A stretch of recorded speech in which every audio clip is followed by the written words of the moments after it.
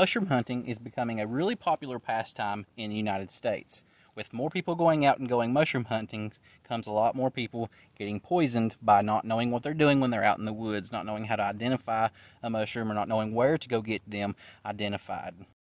Having been trying to identify mushrooms myself for going on about three years now, I've come to learn that there are a lot of mushrooms that look tasty. They look edible. They look like they would just be absolutely delicious but are very deceiving. Still yet, there are mushrooms that look like other mushrooms, and you can't tell them apart very easily unless you know exactly what you're looking for. Mushrooms are used for different reasons all across the world. Some are used for food or as a spice. Some are used for dyeing clothing. Still yet others are used as medicine. There are a lot of people out there who claim to know what they're talking about when it comes to mushroom poison and mushroom edibility. But I would encourage anyone and everyone to further their research, to don't just take one person's word for it. So after you watch this video today, just because you heard me say that these species are poisonous or toxic, you know, don't take just my word for it. Go out and do more research. You know, there's people that will tell you that, hey, you ate a lethal mushroom or you ate a poisonous mushroom, but it's okay. That's not a very lethal dose. You'll be okay. Those kind of people should never be listened to. That is not very sound advice. Uh, complications can come with eating these uh, deadly mushrooms other than just reaching that lethal dosage, that LD of that certain toxic in the mushrooms. People will have complications in uh, in smaller doses of the, the toxin that can lead to organ failure. So today we're going to talk about some of those deadly mushrooms, what they look like, what they may smell like, how to identify them from something that looks similar to them.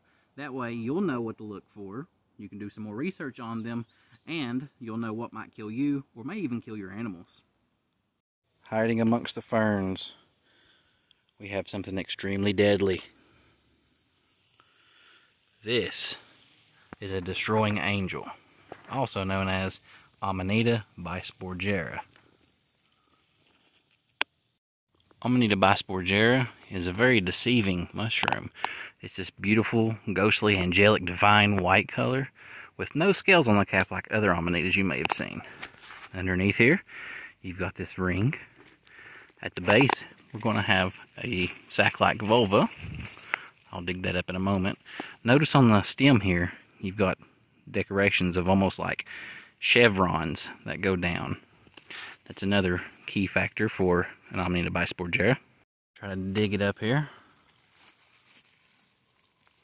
Oh, there you can see there's the volva. So let's dig it out with the knife.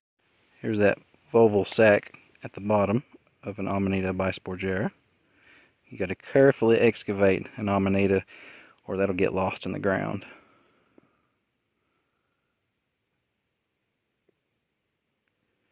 Got that ring here.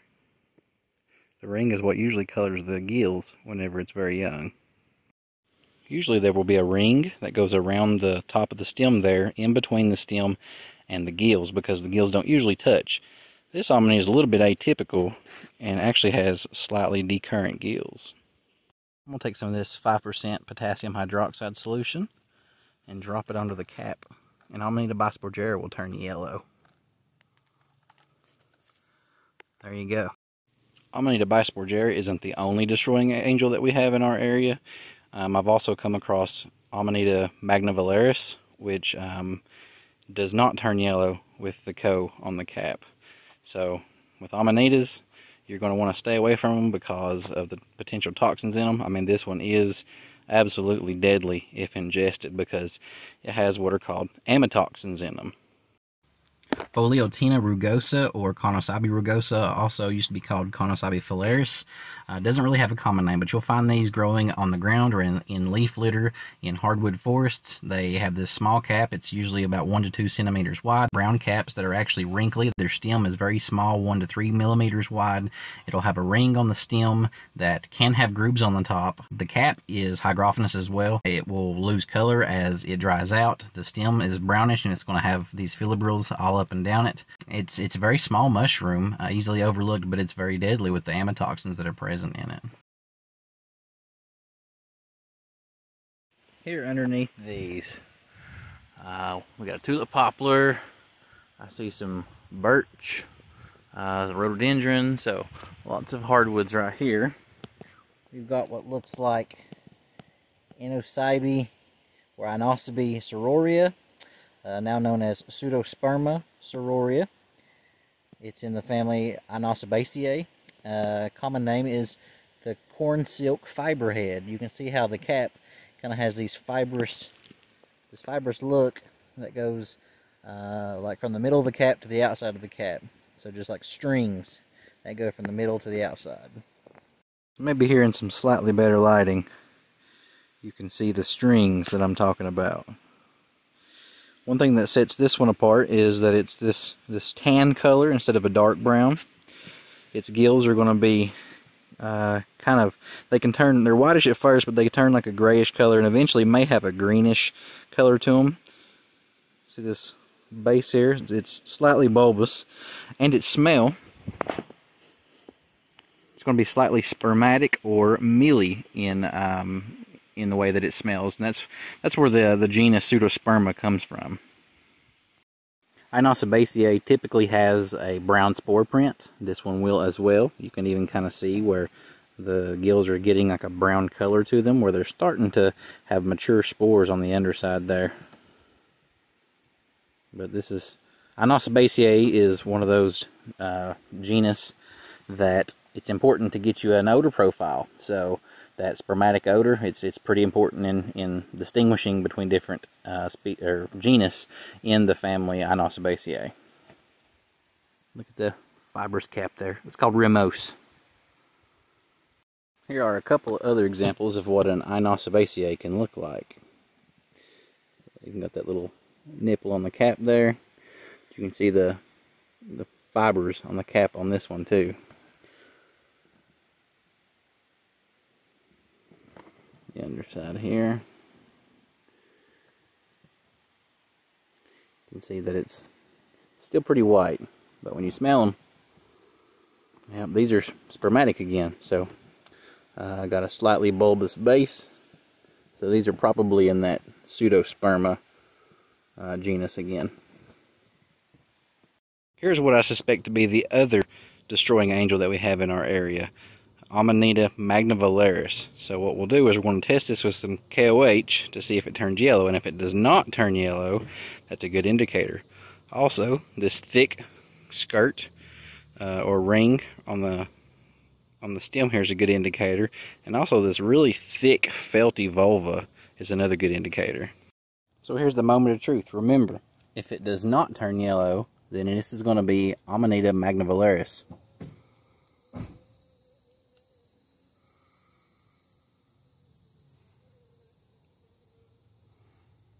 It is not turning yellow. So this is the destroying angel that does not turn yellow with KOH. Still has those amatoxins in it. You do not want to eat this. I know white's a pretty color. It may look attractive, but this is deadly toxic. Galerina marginata or Galerina marginata, also known as the funeral bell, has a brown cap. It's hygrophilous, so it loses color as it dries out. The stem can be whitish to reddish brown to brownish and has a very weak uh, flimsy ring or ring zone on it that covers its gills whenever it's very young. It can be found in hardwood or conifer forests on the wood itself, uh, growing gregariously to even uh, clustered at times. Uh, the cat does not have any hairs or anything on it, and it's uh, rounded on the top and sometimes becomes flat. The gills are widely attached to uh, slightly decurrent down the stem. The mycelium is white at the base of the stem. Uh, you can see some of these little pins here. They can be very, very tiny. The caps are 1.5 centimeters to 5 centimeters wide, and they're often mistaken for enoki mushrooms, um, Flammulina velutipes. People go hunting for these all the time at this time of year in the in the spring and the fall. Spore print is rusty brown. And what do we have here? We've got some orange mushrooms growing directly from the base of a tree, which appears to be some type of oak. So here is one of these beautiful clusters of orange mushrooms growing off this oak tree. Looking at that oak leaf, is probably a type of red oak. Um, but a lot of people mistake these for chanterelle mushrooms. These are not deadly toxic, but these are poisonous. If you ingest them, you will get sick. So these are recognizable because they're orange on the cap. They are orange underneath on the gills and the stem. The gills are slightly decurrent. They have true gills as opposed to false gills like a chanterelle. So these, these gills here, they'll be sharp on the edge, kind of like a knife. Um, with a chanterelle, you'll break it open and peel it down the center, and it'll peel apart like string cheese and be white in the center. These here will not be white. Let me show you. So I'm going to go ahead and rip one of these open, and it'll show you that it doesn't really rip like string cheese.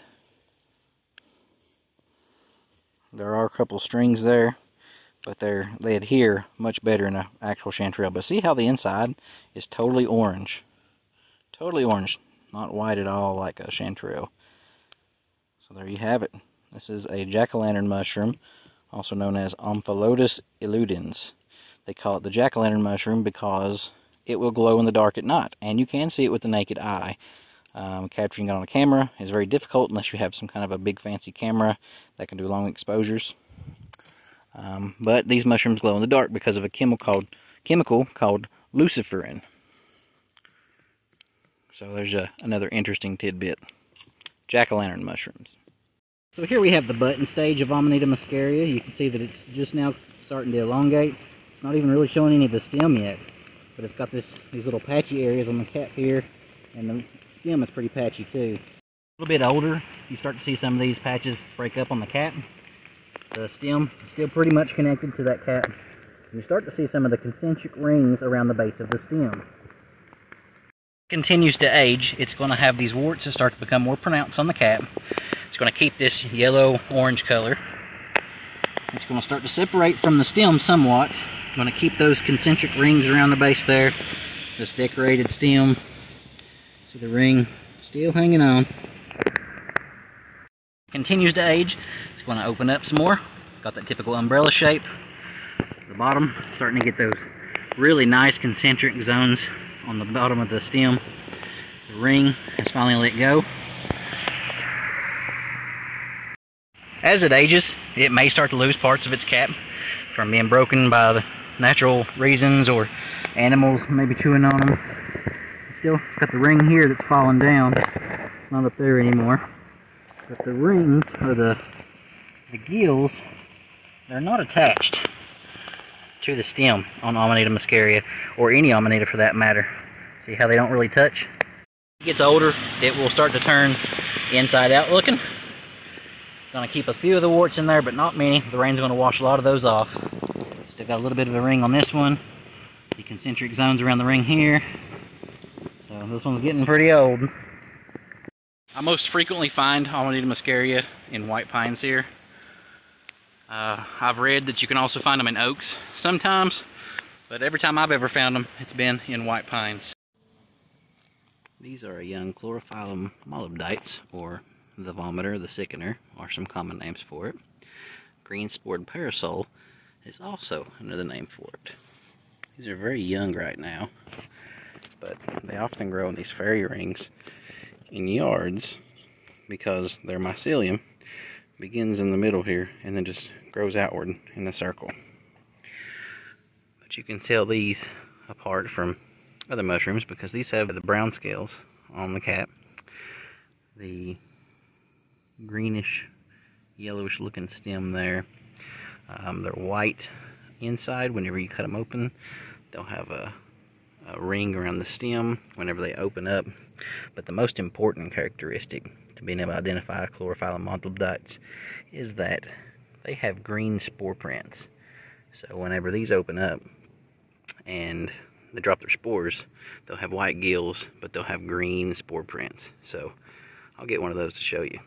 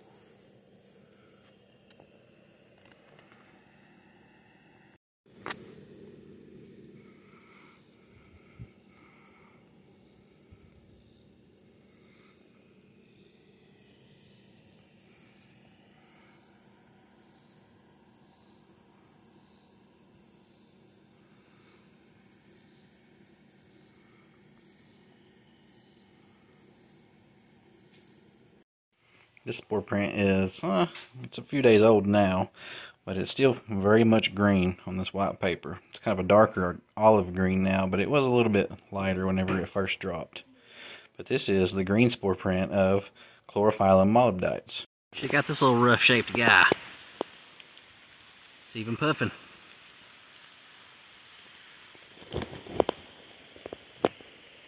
These are known as Scleroderma citrinum or the poison pigskin puffball. You usually find these growing on top of moss that's growing on top of roots or something like that. These appear to be growing terrestrially, but they're probably just growing from woody debris here on the ground. But when we cut these bad boys open, they're going to be black on the inside. Alright, here we go. Cut it right down the middle here. Oh, wow. Look at that. Gorgeous. All that black inside of there, that's going to be the spores. As this thing becomes older and becomes more like a puffball, uh, it'll form a hole in the top of the, the puffball, the round body here, and these black spores will start to puff out. I've already broken this one open here. You'll see a little bit more spongy and light inside, but these are a poisonous species, and typically I hear about dogs that eat these more than anything. They've got this very scaly skin on the outside, and you can see the skin, or the peridium I believe it's called, it's pretty thick compared to a normal puffball. A normal puffball might be like one millimeter or so. This right here, we're looking at two, maybe three millimeters on this bad boy. As they get older, you may find these little things on the ground here where they've already busted open and they look almost like cup fungus and can be mistaken for cup fungus. But just look how thick the skin is. Look at the bumpy outside there and you'll recognize that hopefully as the Scleroderma citrinum. So the first poison that I wanted to talk about, the first toxin I wanted to talk about within these mushrooms is the amatoxins. Uh, amatoxins can be found in section Phalloideae with the destroying angels, the great felt scaradominida, and the death cap, which is found uh, under lolly pine I've read in Virginia, the, the death cap. Uh, Galerina marginata, uh, the funeral bell. It's in Pholiotina rugosa or Conocybe filaris, whichever name you know might know that by, as you've seen earlier. Um, it's also sometimes found in Lepiota species. And this death occurs because of liver or kidney failure. Uh, initial symptoms start 6 to 24 hours after ingestion. Then there's a period of what seems to be uh, recovery that could last 12 to 24 hours. And then after this, uh, your symptoms come back and are even worse. You know, could lead to jaundice, coma, uh, and eventually death. Uh, it is treatable, but it's it's pretty rigorous. With muscarine, you're going to find these in Inocybaceae, the fiber caps. Uh, some of the genus in the Inocybaceae that we find in our area are Pseudosperma, uh, Inocybe, uh, and Inosperma. Clitocybe species or funnels, uh, they're sometimes found uh, in this area and, and, can have muscarine. Omphalotus illudens or the jack-o'-lantern mushroom. Entoloma species, also known as pink gills, not to be confused with the deer mushroom which also have pink gills, or agaricus, which sometimes have pink gills as well, uh, and Mycena species, or bonnets. Um, muscaria can have muscarine in very, very low quantities, um, not usually enough to harm people, but it is still there, and some people have had uh, muscarine poisoning syndrome because of ingestion of Amanita muscaria. Death usually occurs because of respiratory or central nervous system failure. Some of the symptoms that come with this, you know, are blurred vision, increased salivation, um, abdominal cramping, gastric acid secretion, diarrhea, etc. Uh, whenever dogs eat any of these, uh, that's what people will notice is the excessive salivation. Symptoms can start 15 minutes to two hours after ingestion. I mean, death can occur in as early as eight to nine hours uh, after ingestion. Some miscellaneous toxins include orellanine, which is in the Cortinarius species or webcap, some of those. Uh, gyromitrin and monomethylhydrazine, which is found in Gyromitra uh, esculenta or false morel. Uh, glycogen, glycoprotein antigens found in Paxillus involutus or the brown rollrim. Polyporic acid found in Hapalopilus nidulans or the tender nesting polypore. Uh, illudins M and S are another toxin that are inside the Omphalotus illudens, or the jack-o'-lantern. Phalloidin, phalloidin uh, in Amanita phalloides is in the death cap. and ibotenic acid or muscimol found in the Muscaria variants of Amanita and in section Pantherinae. So some of the stuff that can come with these different toxins, orline, uh, death can occur because of kidney failure. Uh, with gyromitrin uh, comes multiple organ failure. With the glycoprotein antigens, autoimmune reaction with hemolysis, however that's pronounced, which is red blood cells exploding. That sounds terrifying. Polyporic acid leads to kidney or liver failure, and perhaps even more scary, brain damage uh, can occur with, with those. Illudins M&S, um, nausea, vomiting, abdominal pain, headache, feelings of exhaustion, weakness, etc. Uh, that's not typically a deadly uh, mushroom. That's just one of the ones that's poisonous. We're not going to want to eat anyways because this is what can happen. The phalloidin, if you know the amatoxins in the Amanita phalloides don't kill you, then you're going to experience some pretty severe GI upset likely. Um, and then the ibotenic acid muscimol, the stuff found in the Amanita muscaria or the Amanita section Pantherinae, you know, it's going to give you GI upset, central nervous system excitation, or depression.